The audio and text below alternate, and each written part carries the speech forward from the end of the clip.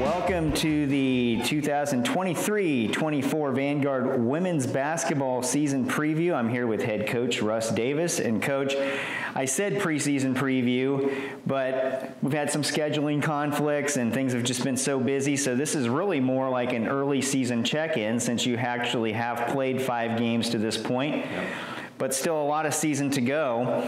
And I just wanted to get your thoughts so far. You guys are four and one so far. Came off a nice uh, Thanksgiving tournament up in Santa Clarita with two wins over two very competitive teams in nations going in before you even played a game. Have those been altered now that you've seen your team play for a handful of games? No, I don't think so. I think that um, you know, we've still got some people that are trying to be 100% healthy. And so we're trying to figure all those things in. We're mixing in some freshmen that are getting some minutes for us with returners and people that sat out last year because of injury. And then obviously we have the good nucleus starting back with, you know, return two returning All-Americans. And then you add Arian, who's been the starter here for, you know, three years previous to this. So it's, uh, you know, we have a good complementary players you know, that, um, you know, we're still trying, to. I mean, our lineup's probably going to change. It hasn't changed yet, but I, I foresee, like, depending on who we plan to match us, because we have a lot of, we have a lot of guards on our team that are real close and they all do different things, so. Now you've coached a lot of games over your career, and the game on Saturday against Bryan, uh, the team was down 19 points at, at one point and came back and won. Uh, was that one of the greatest comebacks that, that you've seen in the program's history, or where does that rank up there? Well, I told the girls afterwards, I mean, we, we, we weren't doing anything, right? I mean, we were just like, they came out and like, if it was a boxing match, they came out and Mike Tyson us, you know. And then we just kind of take it, and then we came out with the aggression in the second half. You know, it's a tale of two halves, but um, at the end of the day in basketball, you make a bunch of shots, it's going to cover up a lot of stuff. So our girls really responded. Um, they never quit, and uh, they were determined. We showed a lot of grit. Um, they were really just uncommon, to be honest with you. And led by Hallie, who, who uh, had a career, career high at that, that game, 33. And, and then a lot of people made big shots for us, you know, down the sets, down the stretch. You know, Jaron made some big threes, and Sarah made some big threes, and Ashley made a big three, and uh, you know, Alexa stepped up, made made a couple big threes, and and Hallie fouled out, so Alexa's had to step up. Hallie's been in foul trouble a lot, so she's uh, she's had a lot of opportunity to step up. So it's really been kind of a team thing, even though we have two people that are scoring a lot of points, but we have a lot that are capable of having some big nights like that. So. Alexa played uh, 34 minutes in that game, so she's been doing great. I know it's a, a, balanced effort and everybody's contributing, but if you're going to start the conversation uh, about the roster, about the players, I have to go with the senior All American center forward, Melissa Akullu. And she's been everything uh, that's been advertised to this point, has already had a 40 point game, um, has scored 20 or more, I think, in four of the five games. What is it like for you to be able to have somebody kind of at the, the forefront like her, a first team All American? Well, I mean, yeah, I could, yeah, that's a, that's a good one. Uh, you know, she, she works extremely hard. I mean, she's always one of the hardest workers in the gym, if not the hardest worker. She's intense. She creates things. She, she just does a lot for us. I mean, she alters shots. She can be in front of our press. Obviously, she gets amazing rebounds. She's got she's double teamed half the time. Crazy athletic. She gets a break going. Um, she, I mean, before our last game, she was shooting I think 72 percent. Mm-hmm. You know, which is crazy. And averaging like 28 points and 12 rebounds or something. Now she's I don't know. I think she's like 24, 25 points and 11, 12 rebounds. So shooting 68 percent. That's those numbers are crazy. I don't know you know, teams are going to, you know, teams try to stop them, stop her, and then we have a lot of different weapons. So I think it's really hard to just key on Melissa because we have a lot of girls that can really put the ball in the basket. So, right. um, you know, we were able to. I think one of the things I wanted to do is I really wanted to play these teams, Um, we have three more tough games coming up before Christmas, and these, so that means we're going to go against seven teams that are probably going to end up making the tournament this year, international tournament. So, and all on the road. So you can't. I mean, before we go on our conference, where our conference is like really, really improved. I'm, I'm like really excited about how good these teams are in our conference because we're going to be tested every night, and that's if you're a competitor, you want that. So, sure. Um, right now we got we got a break with finals and everything else, and some games canceled or whatever. So it's like we're gonna we have an opportunity to do a lot of cleanups, and we're just really scratching the surface. I don't think we played our best. Um, we've had we've had really good quarters and stuff like that, but um, and halves. Um, so we're trying to put together some good games. Like we're gonna need those out in Arizona and through our conference. So I'm excited for this. Um, um, we showed toughness. I've had to challenge them because we, you know, we haven't showed toughness in some times. Every time I've challenged them, they've rose above that and they accept the challenge. And, and uh, I'm, I'm, really liking our mental toughness and uh, how gritty we are and how physical we are. And like, we're determined to give our best shot. So that, that's always good signs. And you mentioned that you have a lot of different players that can put the ball in the basket. Hallie C, sophomore All American point guard, is one of them. Uh, you mentioned that she's coming off a career high 33 point effort, um, has battled some foul trouble in some games uh, early on this season, but just talk about her uh, progression and her evolution from being a freshman starter to now a sophomore and her leadership and what she brings to the team. Well, she's also one of our captains as a sophomore. And, uh, you know, she's one of the best point guards in the country for many reasons. And part of that is her leadership out there. I mean, we spend a lot of time talking about what we want in games and game plans and stuff. And I basically let her call some of the stuff as well because, you know, I trust her out there, you know. And so I'm really happy with that. I, am not too happy with her fouls.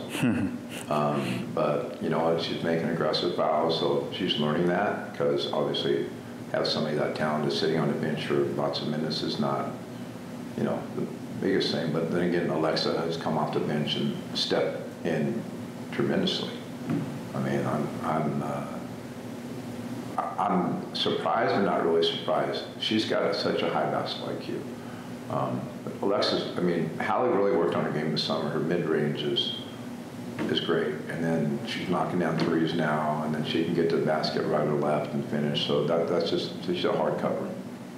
Just a hard cover. And then she can really push the ball in transition. She gets downhill, she finds people. So, you know, I knew that though when we were recruiting her that she was going to be able to come in and do things she's doing. So she stepped, she's even rising above that. I'm really, really, really proud of Hallie. When she's also one of the top uh, assist uh, players in the nation last year, over six a game, and she also rebounds. She steals the ball. She does a little bit of everything for you guys. Yeah, yeah, she does. And she's a good leader, and she's uh, she's really competitive, and she's all the things that you really want with somebody. We just got to, you know, we just got to keep the whistle from blowing sometimes right. out there. Yeah.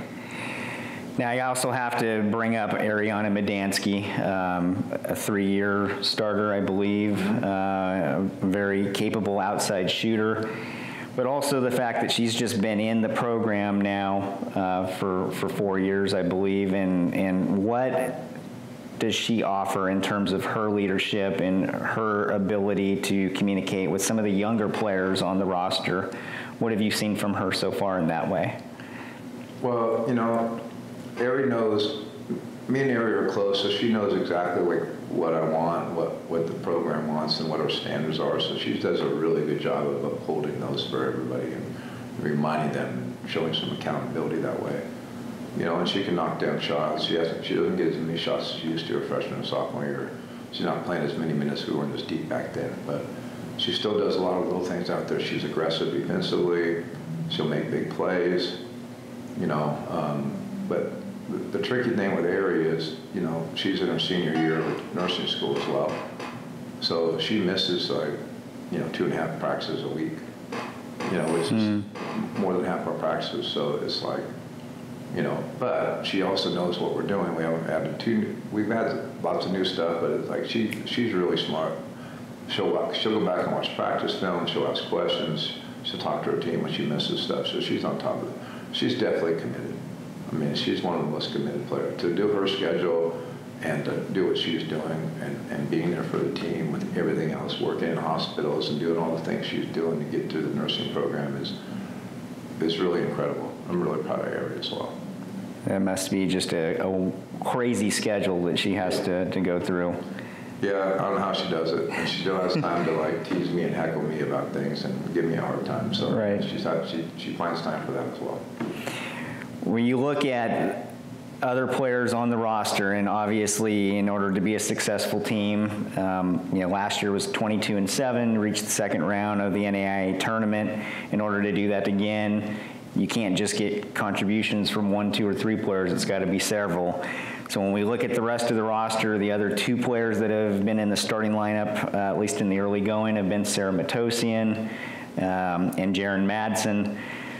Give me your thoughts on their performance so far, and then also some of the other players that have come off the bench and, and have given minutes to the team. I'll start with Jaron. Uh, Jaron is a, another basketball player that has a very high IQ and she's really versatile. So we can play Jaron at the two, three, or four, um, which really helps her and helps us.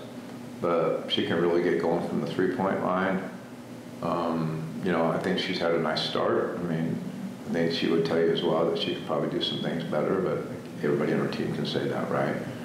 But um, she's made some key play for plays for us. Like the other night, she had a couple big threes in that fourth quarter, part of our our comeback when we were we were getting pounded there, and uh, you know, so we have a lot of depth at position, so we don't have to kill her with a ton of minutes, and so she's really stepped up into, into that role, and and uh, you know, I think she can play better than she is playing, um, but she's not hurting us right now, you know. So I think she's going to just get better and better and better as well, because um, she's still learning some stuff too. I mean, she's only a sophomore, right? And so, uh, really happy with her.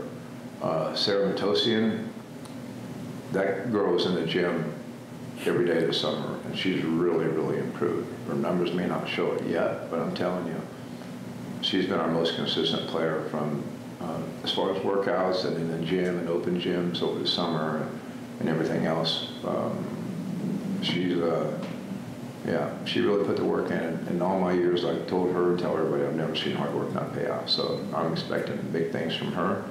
Um, I actually want her to shoot more because she can really shoot it. She had a great game against uh, Wayland Baptist. Yes, she, she was she was huge in that game.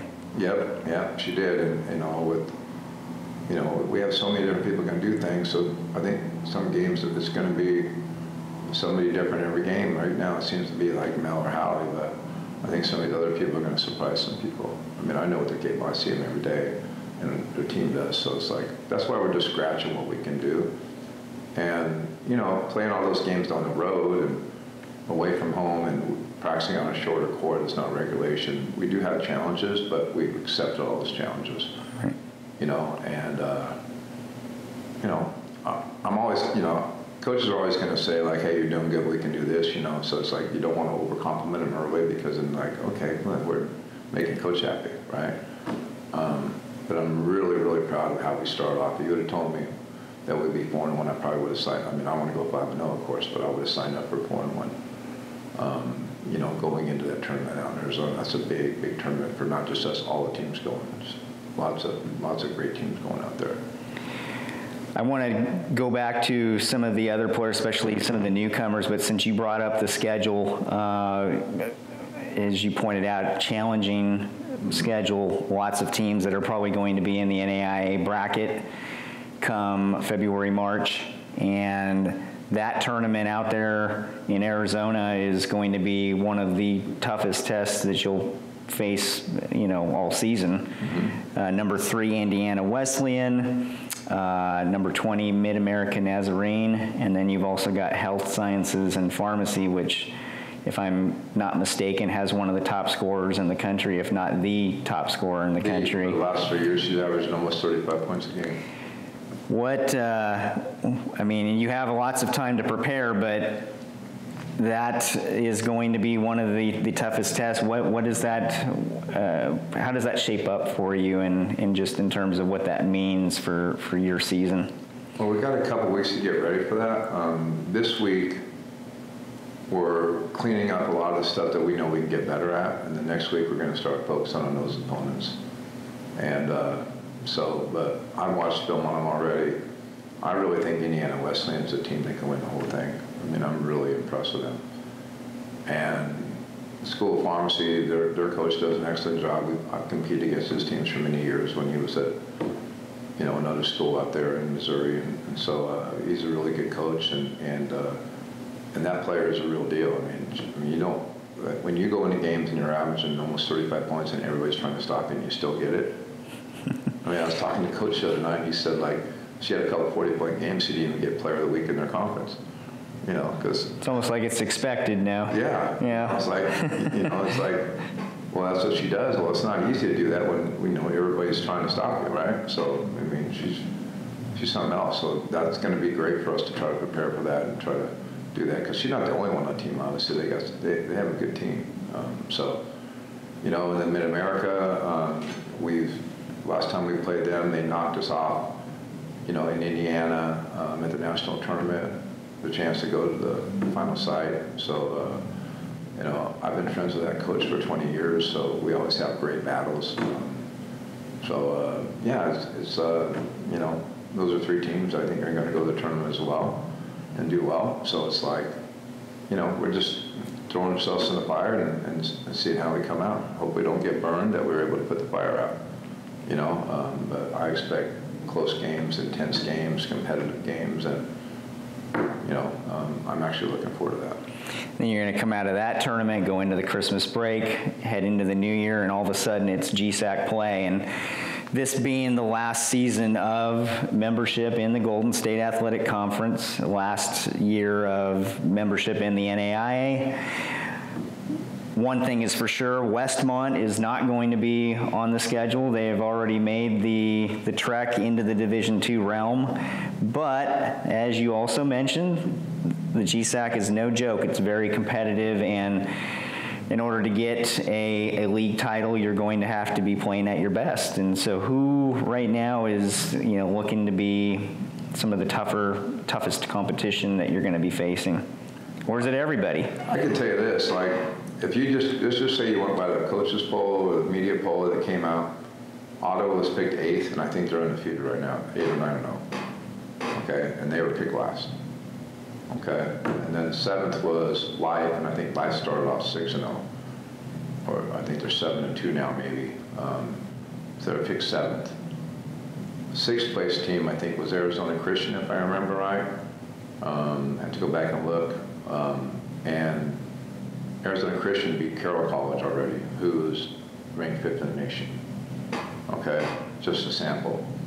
And Hope, who I think was picked for, I can't remember exactly off the top of my head where they're picked, but I mean, Hope beat a Division One school already. And Hope beat us twice last year. Okay?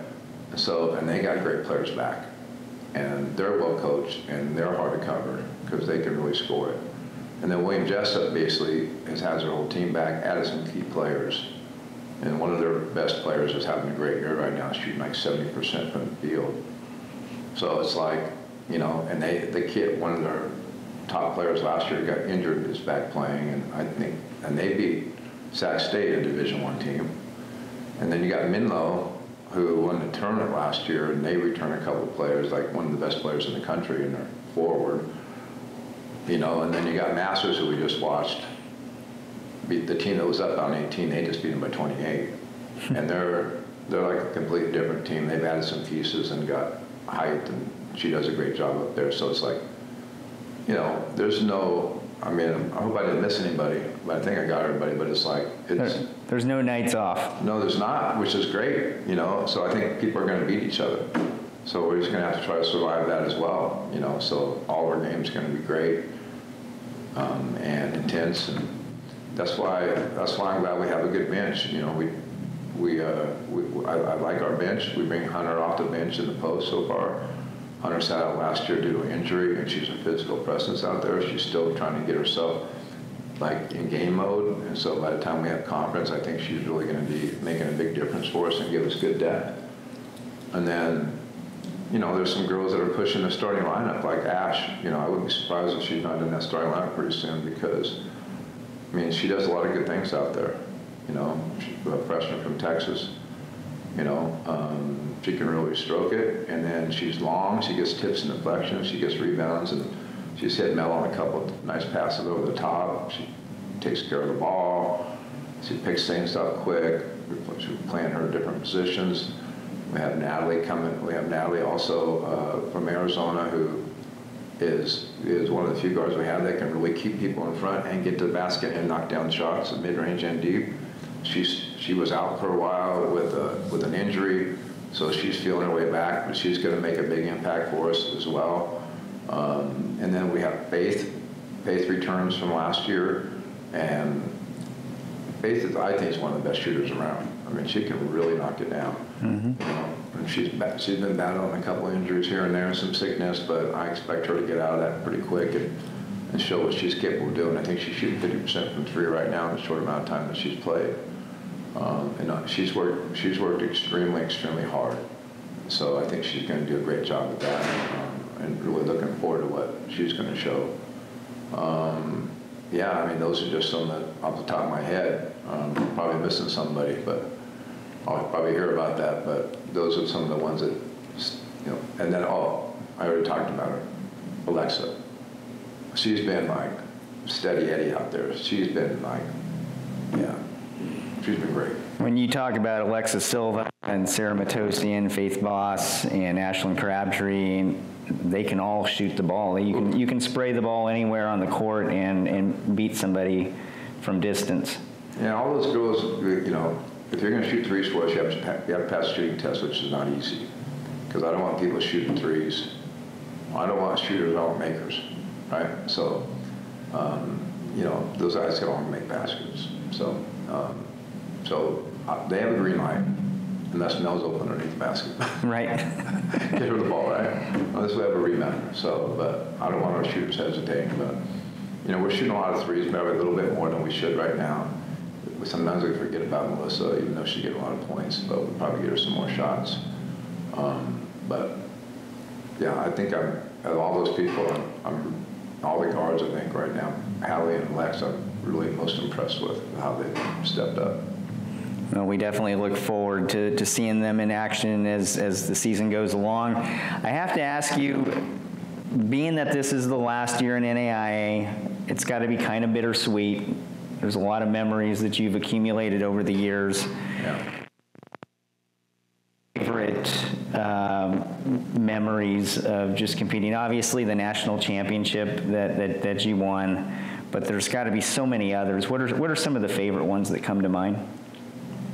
I think my very first year, when we, I think, I don't know if we were like 18 and 11 or something like that, where, you know, I remember when Bob hired me, he told me it's going to take me five years to get the team going and have a winning season. And I remember looking at him like, hey, I've never not had a winning season. So it's like, I, that wouldn't be good for anybody, right? And so I think that team, the cement of our program, that first team I had, those that's my special fond memory how they bought into changing the culture and really turned our program around and we things we did with them we still do today um, so it's really hard for me to talk about them I get emotional. I just love that team so much and those people.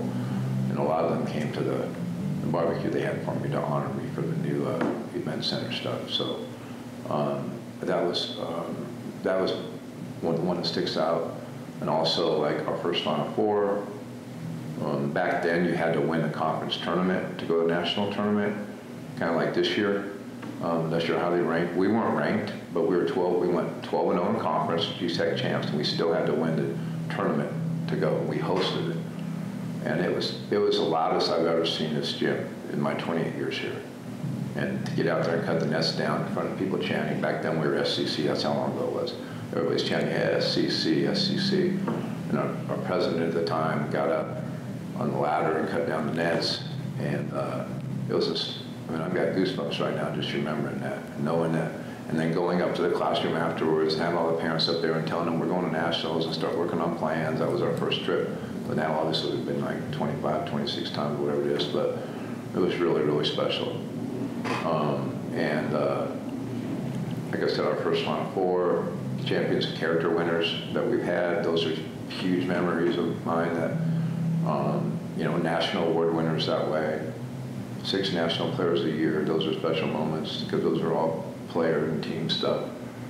And then, um, you know, ultimately winning that national championship was really, really special. Um, when, coming back the other night when, we, when nothing was going right for us, that was that was a big moment. But most importantly, sharing these moments with all these people. We recruit character and really outstanding people with families for a reason. You love being around them, and I'm hard. I'm hard on. Them. I push them because I want them to see do things that you know think they couldn't do. And when they leave here, I don't want them to have anything left. I want them to make sure they get we got everything out of them and they're happy because to me, those are life skills they're going to be able to take with them for the rest of their life. Yep. There's only going to basketball, short time, right? They're going to be people in, in society, and, and right now where this world stands and this country stands, we need we need those outstanding people like in our program to go out there and make a difference in the world. And those relationships endure forever. Well, we are family, and I, I love everybody ever, I really truly do, that's ever to put on there, and, you know, and, uh, and wore that uniform proud. Well, Coach, thank you for your time. Um, you know, we look forward, obviously, to closing out the NAIA um, last year of being in the NAIA on a on a happy note, hopefully, um, and then looking forward to christening the new Freed Center for the 24-25 season. So lots of great things ahead for for Vanguard women's basketball, and we're just so thankful that we have you here as coach. And I'm blessed to be here. I thank the Lord every day. So, thanks, Mike. All right, thank you. Yep.